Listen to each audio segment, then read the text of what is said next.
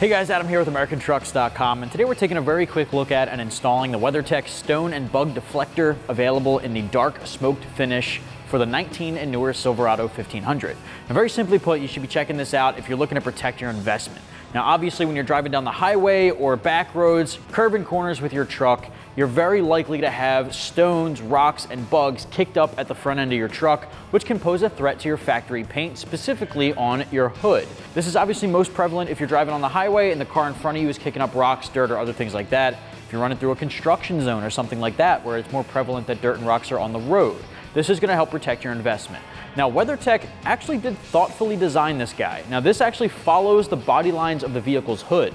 As you can see, it has those divots in the hood in the center section. You can see that continue straight down with the hood deflector. Now the goal of this guy is to come a little bit off of the hood here, put a barrier between those obstacles and your factory paint, and it'll kick that up so it doesn't come in contact with the body of the vehicle at all. Now another nice thing is at each end, it actually flares out just a little bit. So if anything was to come in contact here, it would actually fling off straight to the side instead of flinging off at your fender. So it is really thoughtfully designed. And as you can see, I just knocked it pretty hard here. It's flexible and it's made from a very sturdy heavy duty acrylic material and a dark smoke finish. Now the dark smoke just adds a nice stealthy look to the front end. It blends in a little bit more with the black accents that you have on your factory grille if your truck came with more of a blacked out look like ours did. We obviously have some chrome on there, but there are some blacker accents in between. If you have a darker colored vehicle like black or a charcoal gray, for example, this is gonna blend in a lot more with the body of the vehicle, but even against our red vehicle here, which is super bright, very contrasty, it still looks pretty good. Now granted, it has more of that unibrow design, which not everybody's gonna be a fan of, but again, if you're looking to protect the investment, this is a really nice way to go. With the sturdy construction and its ease of install and the fact that it doesn't touch the body of the paint at all, it's a pretty worthwhile investment coming in right around 150 bucks.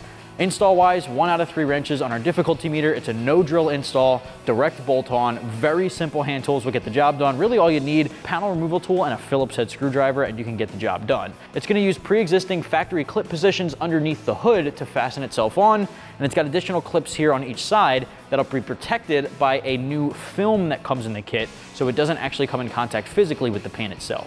I'm gonna walk you through the whole process. It'll take you about 30 minutes maybe an hour from start to finish, probably a little bit less than that though. What do you say we get started? Tools used in the install include a panel removal tool and a small Phillips head screwdriver. First up, you wanna have the bug deflector face down. You wanna take a look at the hole closest to the end here, and there's one on each side. Take this little swivel bracket, go underneath. It's got a little welded on nut there on that plastic piece.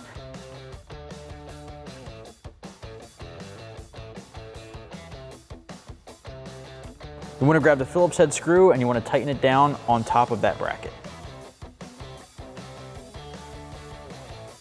Repeat that on the other side. Under the hood, there's this weather strip sealant. Now, inside of that, there are push pin clips, little plastic black push pin clips all along. On each side, we have to remove the second and the fourth one in from both sides. So I'm starting here on our passenger side. I'm just gonna go up here with our panel removal tool. If you need to, you can bring your hood down Obviously this is gonna be a little bit more difficult to see on camera, but uh, if you're taller, it might be a little easier for you. But you're basically just gonna go up under here and pop them off.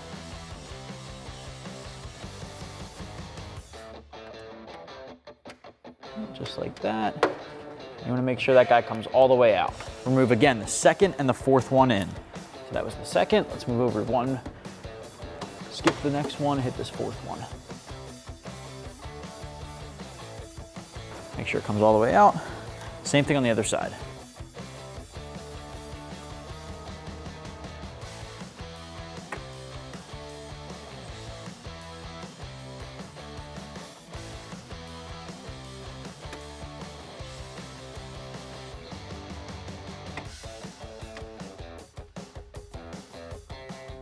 Now this next step is a lot easier with a helping hand on the other side. Basically, you're gonna hold this guy up on the hood pull that liner back just a tad where you remove the clips and put these tabs underneath of that liner. So you wanna make sure both of them are going in simultaneously.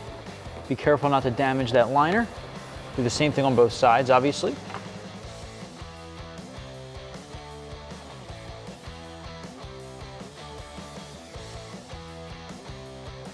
From here, you wanna take the plastic clips and you're gonna peel back the liner, put it through the plastic tab on the hood deflector and then into the hood where the factory clip was.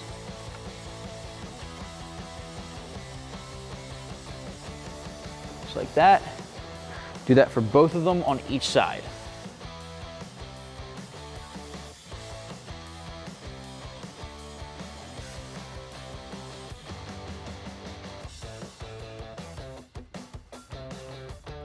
All right, once that's in there, you wanna put the Phillips head screw through the hood liner into that fastener that we just put in.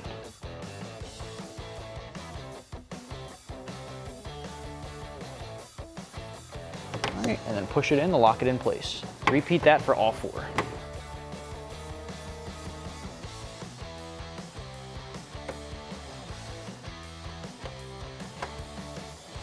Right, you can use a Phillips head screwdriver if you need to to help lock it in. Repeat on both sides.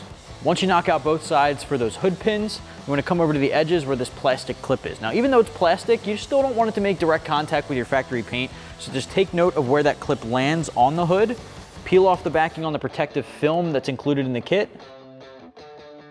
stick that film onto the underside of the hood, and then wrap it around the edge so it's on the outside as well, and that plastic clip goes on that protective film instead of going right up against your factory paint. All right, same thing on the other side.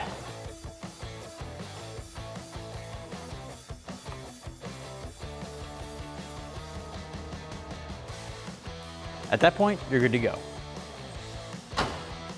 That's gonna wrap up my quick overview and install for the WeatherTech Stone and Bug Deflector in Dark Smoked, available for the 19 and newer Silverado 1500. Get yours right here at AmericanTrucks.com.